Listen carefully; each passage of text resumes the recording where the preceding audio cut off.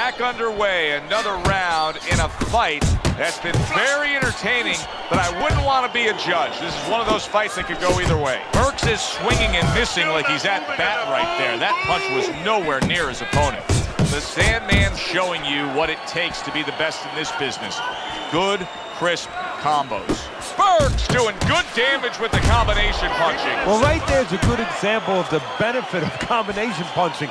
You miss the first or the second, the third and the fourth, they land. The Sandman's at his best when the combinations are landing. He scored well there with that combo.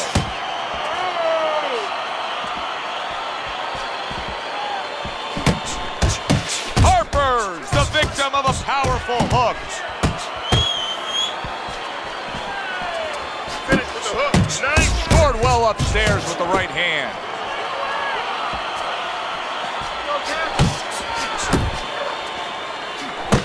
Harper once again the target of a hook. Get in there! Out of Attaboy! That's a clean shot, able to get in with the right hand. Stay with him! Look at that! Iceman's the first knockdown victim of the night in this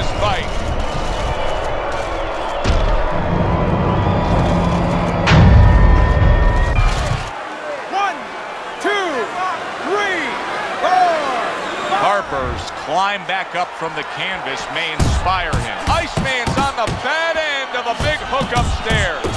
Burks' combination punching is just perfect there. Three punches landing. The Sandman's getting himself into the mix now, landing that left hand. Scored well up top. Unload! Yeah, that's it. Gets rid of that. It was intended for his head.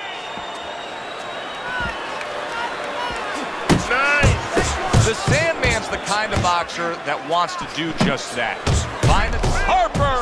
Oh, that's gotta hurt. Oh, and now the real test. Can he get up after going down a second time? One, two, three, four, five. It's over. The fight is over. Iceman's unable to continue. This fight is over. Knockout.